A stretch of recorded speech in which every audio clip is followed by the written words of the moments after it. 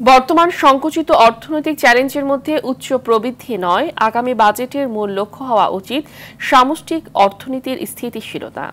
সরকারের ব্যর্থতায় উচ্চ মূল্যস্ফীতিতে ভুগছে মানুষ। কম আয়ে বেশি দামে খাবার কিনতে বাধ্য হচ্ছে।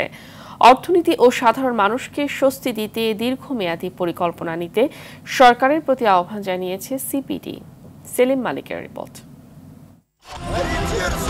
রাশিয়া, ইউক্রেন ও মধ্যপ্রাচ্যে যুদ্ধ পরিস্থিতি। দেশে ডলার সংকট, রিজার্ভের পরিমাণও দিন দিন কমছে। রপ্তানি ও রেমিটেন্সেও নেই তেমন সুবাতাস সব মিলিয়ে ভয়াবহ চাপে দেশের অর্থনীতি।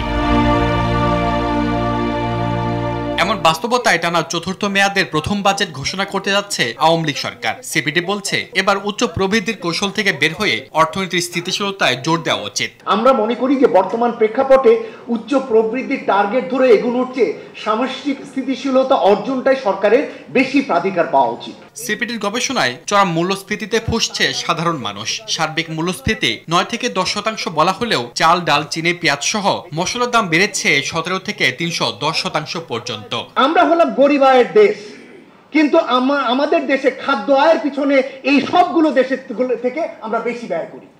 এটা তো হতে পারে না। আমরা আয় করি কম, অথচ আমাদের খাবারের পিছনে ব্যয় করতে হয় সবচেয়ে বেশি। আমরা কোন অর্থনীতিতে রয়েছি?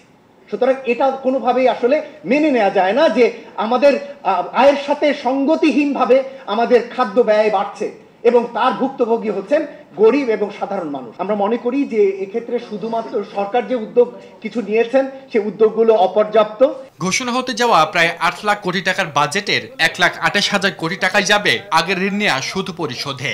সংস্থাটি বলছে এতে অর্থনীতিতে চাপ আরও বাড়বে। বর্ধিত আকারে এই ঋণ নেবার কারণেও কিন্তু বেসরকারি খাতের জন্য ঋণ প্রাপ্যতা কিছুটা হলেও টাইটেনিং এর ভিতরে রয়েছে। জ্বালানি এবং বিদ্যুৎ খাতের জন্য অনেক ক্ষেত্রে খুবই শর্ট টার্ম ঋণ নেওয়া হচ্ছে। ঋণের সুদ পরিশোধের জন্য। এই জায়গাগুলো কিন্তু ভবিষ্যতে বা পরিণামে কিন্তু আরও বড় মাথা ব্যথার কারণ হতে পারে বলে আমাদের কাছে মনে হয়।